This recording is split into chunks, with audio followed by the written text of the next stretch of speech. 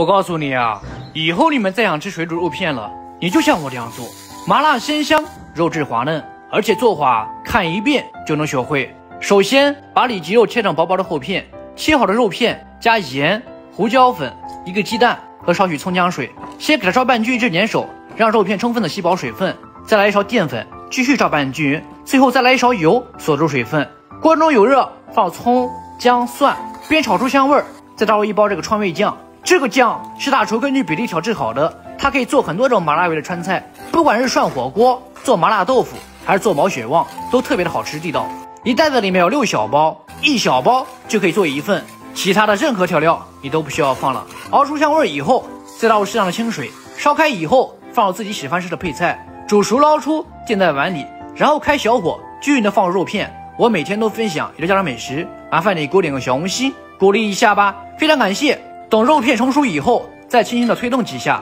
连汤带肉一起倒在碗里，再放花椒粒、干辣椒、蒜末、葱花和白芝麻，最后泼上一勺油，激发出香味儿，就可以开吃了。这样做的水煮肉片，麻辣鲜香，肉质滑嫩，是不是很简单？你也赶紧收藏做起来吧！